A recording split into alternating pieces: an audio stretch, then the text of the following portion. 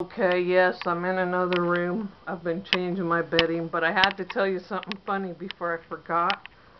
So, my son just called, my 22-year-old son. He goes, do I have any mail? I go, I don't know. I have to go see.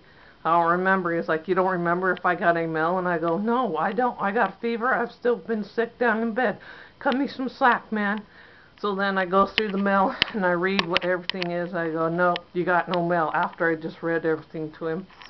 And then I go, oh, I go, why, you want some mail? You can have the shop ad. And he goes, no, I'm waiting for some checks. I go, checks for what? And he goes, just some checks. I'm waiting for some checks. I go, checks for what? And he goes, if I, if I told you I'd have to kill you. And I says, well, that sounds awesome to me right now. Can you kill me now?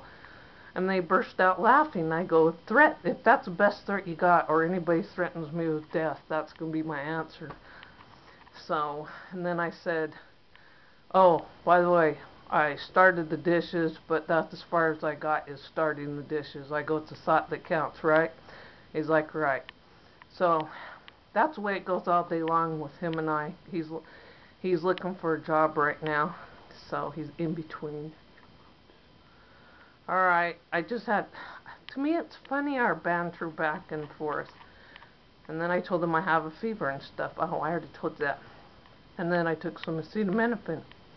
Then I came in here to tell you guys before I forgot because I think it's funny, but maybe I'm an idiot and it's really not funny to you guys. That will make it funny to Deb at least, so thank God I have Deb. Alright, peace.